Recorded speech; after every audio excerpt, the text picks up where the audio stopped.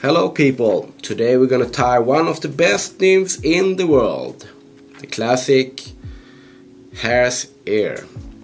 I tie this in size 12 and 14, mostly this is a size 12 with a 3.5 millimeter brass bead in the color black. You can use gold or copper or silver, that's the free of choice.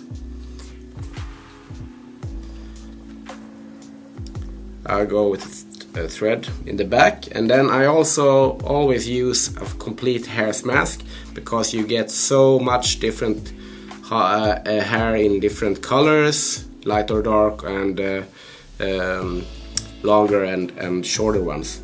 And on the sides you find longer ones here.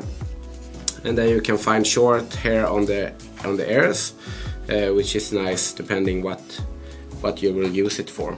But for the tail I always cut a little bit longer hair to use as the tail.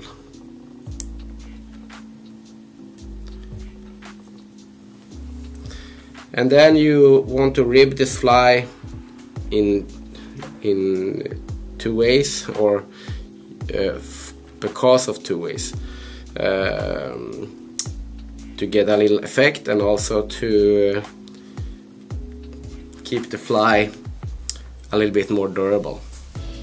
And now for the body, I want a, a little bit shorter here so that I can find either on the ears or uh, uh, on the face of the, of the um, either on the ears or on the face of this one.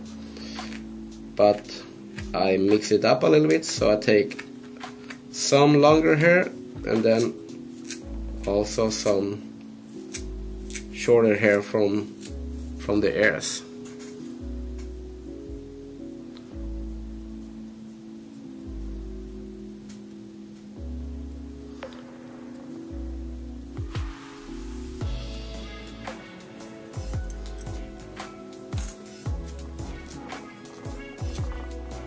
A little bit more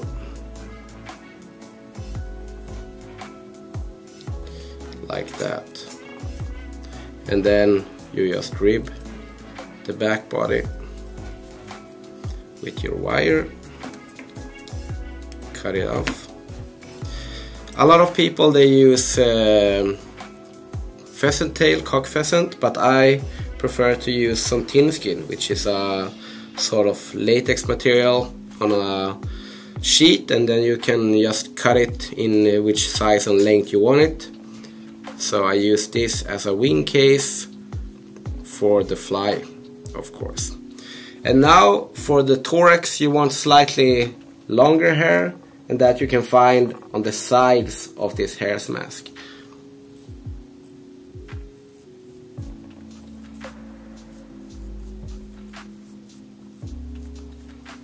And I like to mix it up with some darker and also some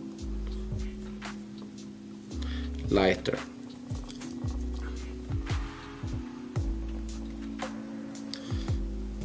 Like that. And then I just fold this over. I will actually brush the fly already a little bit. This is a really nice brush from Renzetti. And then I just fold this over, tie it in cut this off.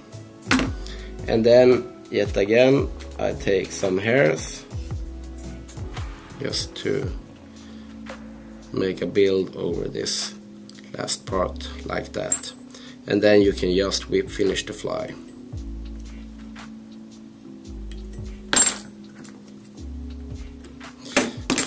And if you're not happy with the bugginess you just use your dubbing brush to make it slightly more buggy.